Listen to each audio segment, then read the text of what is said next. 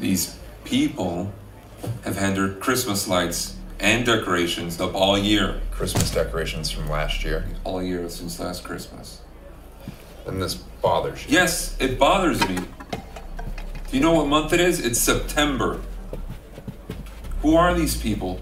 Can you imagine if everybody just had Christmas lights up all year?